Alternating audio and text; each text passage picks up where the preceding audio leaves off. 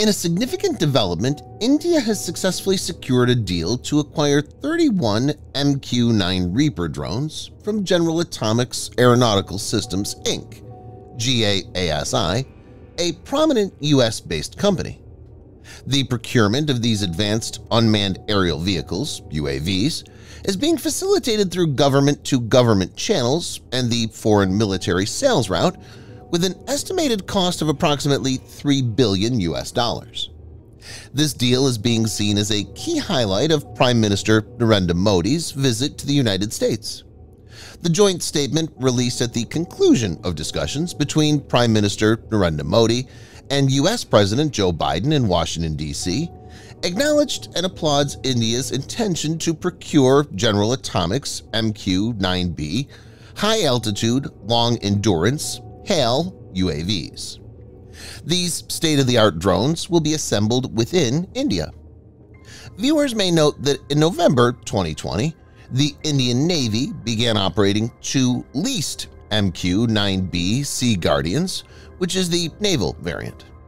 The lease agreement was valid for one year and has been extended subsequently. Its effectiveness convinced India to go for this deal. In this video, Defense Updates analyzes what MQ-9 Reaper will bring to the table for the Indian Armed Forces. Let's get into the details.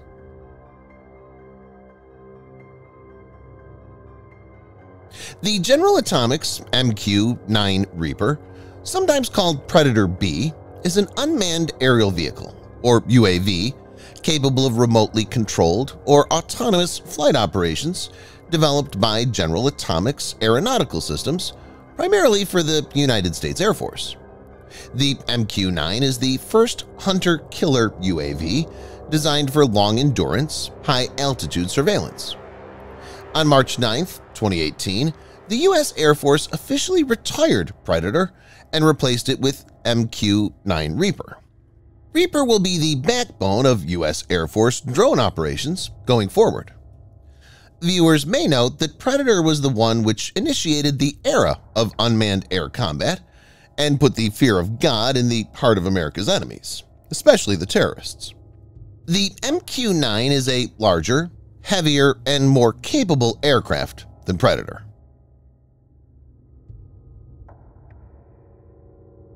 Reaper is a major upgrade and brings much more to the table when compared to Predator. Predator had an endurance of 24 hours, a service ceiling of 25,000 feet, a range of 675 miles or 1,100 kilometers, and a maximum speed of 135 miles per hour or 217 kilometers per hour. Reaper has an endurance of 27 hours, a service ceiling of 50,000 feet, a range of 1,151 miles or 1,852 kilometers, and a max speed of 300 miles per hour or 482 kilometers per hour. With extended range ER upgrade kits, Reapers will have an endurance of up to 42 hours without external stores. Reaper's main sensor is the nose-mounted MTS-B multispectral surveillance and targeting turret and its fuselage-mounted Lynx synthetic aperture radar. But Reaper's pylons are very versatile and can be used to carry a variety of tactical equipment like communications relay hops, electronic warfare pods, as well as wide area area surveillance WAAS camera arrays. The additional sensors are designed to act in conjunction with the drone's main sensors.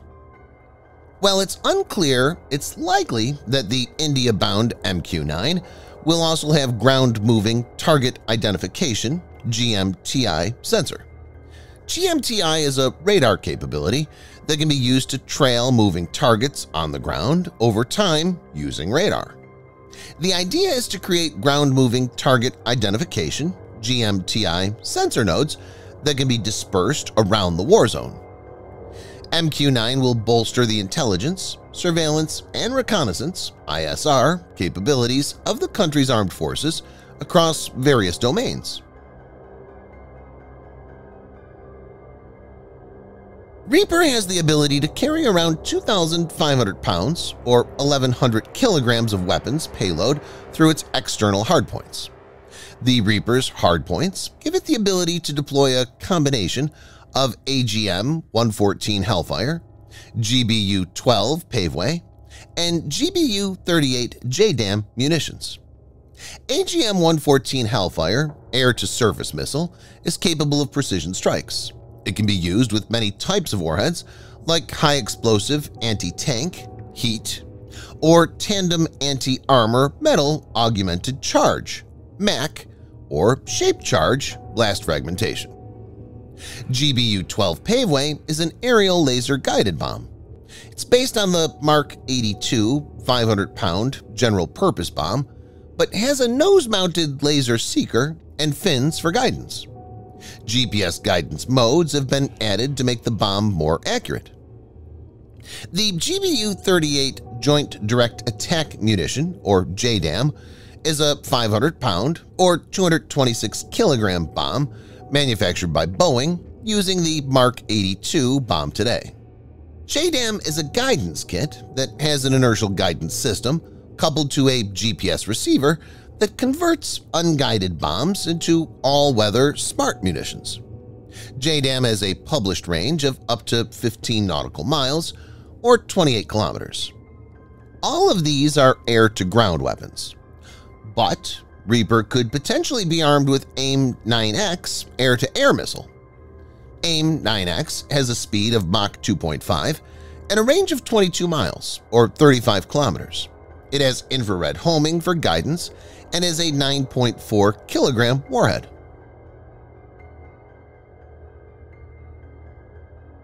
As per reports, the Navy will get 15 drones, while the Army and Indian Air Force will get 8 each.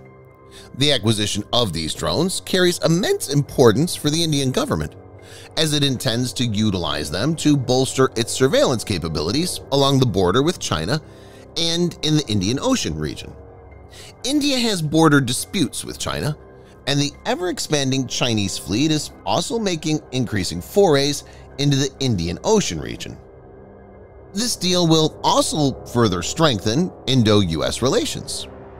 Vivek Lal, the chief executive of General Atomics Global Corporation, called the decision to acquire Reaper drones for the Indian Armed Forces a breakthrough moment for India-US strategic and defense partnership. He said General Atomics is pleased to be a major contributor in taking it to the next level.